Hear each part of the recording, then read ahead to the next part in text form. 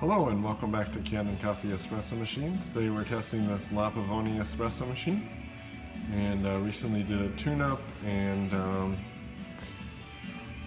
uh, replaced a bunch of parts including the um, um, partially melted boiler cap uh, which is we just couldn't just couldn't get this issue resolved of this leaking by just replacing the o-ring we had to replace the whole cap and um, let's go ahead and test the machine.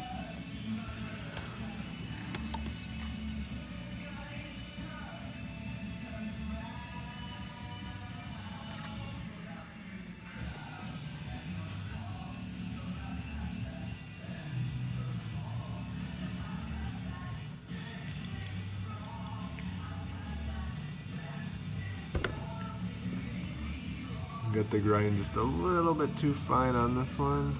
Had it too coarse on the last one.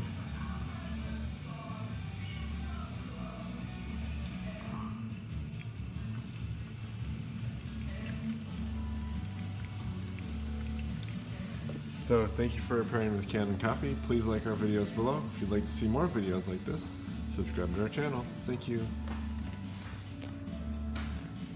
Oh, let's just test the steam. Nice strong steam.